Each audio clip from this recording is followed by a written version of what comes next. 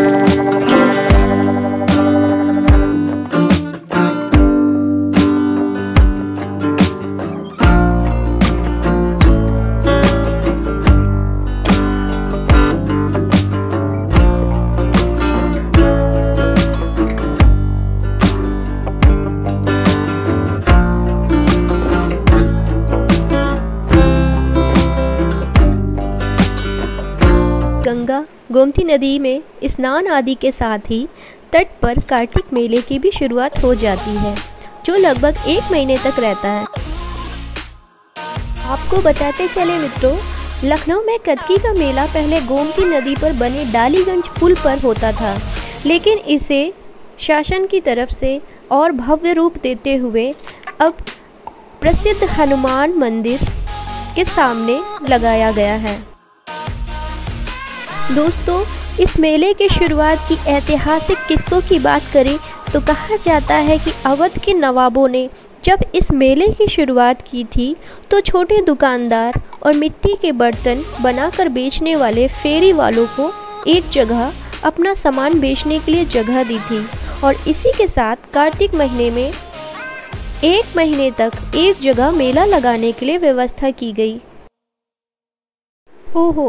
तो आखिर हम पहुँच ही गए हनुमान सेतु मंदिर के जस्ट सामने लगे हुए कार्तिक के मेले में। तो चलिए देखते हैं क्या है यहाँ पर। ये मेला लगा हुआ है 18 नवंबर से 5 जनवरी तक। यदि अभी तक आप नहीं गए हैं तो आप भी आकर के इसे देख सकते हैं। अभी भी टाइम है आपके पास। तो चलिए चलते हैं। दोस्तों, तट पर लगने वाला ये ऐतिहासिक कतकी का मेला दरअसल यूँ ही नहीं शुरू हुआ था। इसके पीछे एक रोचक इतिहास जुड़ा हुआ है। दोस्तों, मान्यता है कि कार्तिक पूर्णिमा पर लगने वाला कार्तिक मेला आदिकाल से लग रहा है। सूरज कुंड की तर्ज पर लगने वाले इस मेले में पहले जो मवेशी भी मिलते थे, लखनऊ में छह सूरज कुंड बनाए गए थे, जिनमें से एक डालीगंज के पास और दूसरा रुदौली के पास है। इसके साथ ही चार अन्य सूरज कुंड अब इतिहास हो गए हैं। दोस्तों, कहा तो ये भी जाता है कि अवध के नवाबों के समय, नवाबी काल के समय में मेले में सुबह सुबह महिलाएँ ज़्यादा जाती थीं। पर्दा प्रथा होने के चलते पुरुष सुबह, जगे, इससे पहले महिलाएँ अपने ज़रूरी सामानों की खरीदारी कर वापस घर लौट आती थीं। इस बात पर कहा जा सकता है कि यह मेला खास तौर पर महिलाओं की खरीदारी के लिए था, इसीलिए यह मेला आधी रात तक चलता था। दोस्तों, आज भी मेले का रंग दोपहर बाद से चढ़ता है और रात होते काफ़ी भीड़ हो जाती है। अलग अलग जिलों से आने वाले दुकानदार बताते हैं कि महीना भर चलने वाले मेले में कमाई का अच्छा मौका मिल जाता है।